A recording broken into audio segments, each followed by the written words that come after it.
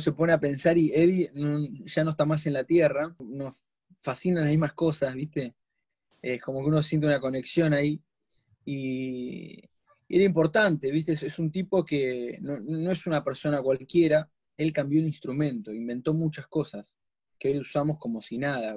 Guitarras, ¿viste? Tienen micrófonos es un imán que capta la vibración de la cuerda. Como hay otros metales alrededor de una guitarra por todos lados, en el ambiente, afinadores, todo, a veces suele meter ruido en esos imanes. Entonces el tipo sentía eso y agarró, sacó el micrófono y lo empezó a envolver en cinta y se dio cuenta que cada vez disminuía ese ruido, porque había menos interferencia, hasta que un día se pudrió y lo metió en, cera de depilación creó un aislante que hasta ese día no existía eso. Y hoy en día cualquier Gibson, cualquier Fender trabaja con eso. Su cabeza iba más allá de, de un guitarrista, era un científico, ¿viste?